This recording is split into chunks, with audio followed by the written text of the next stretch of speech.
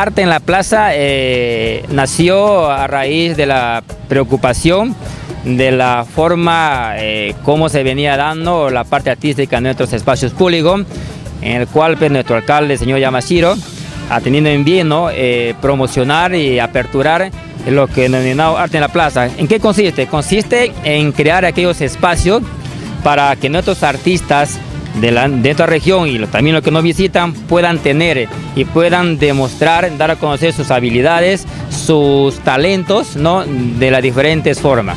Y al final tenemos eh, un espacio también lo que es cine, ¿no? Los cines eh, en el perfil lo que hemos denominado revalorar nuestra cultura eh, de los pueblos indígenas. En este caso estamos empezando con, los, con el pueblo Shipibo, con Ivo.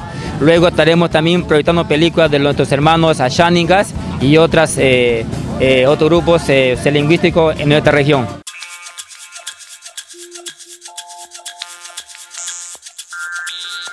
Para nuestros amigos artistas, cualquiera sea su habilidad, su talento, simplemente se apersonan a la oficina de Educación, Cultura y Deporte, sitio en la Avenida San Martín 446.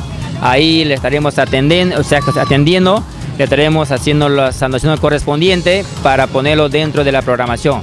Eso es totalmente libre para todos aquellos amigos eh, que quieran expresar sus talentos, como les digo, y su creatividad.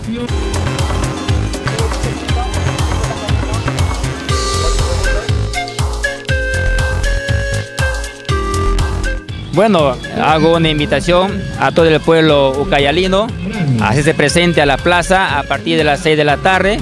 La, estamos llevando Arte en la Plaza, un espacio público para que puedan apreciar las diferentes manifestaciones culturales de nuestra región y también de todas las regiones de nuestro país.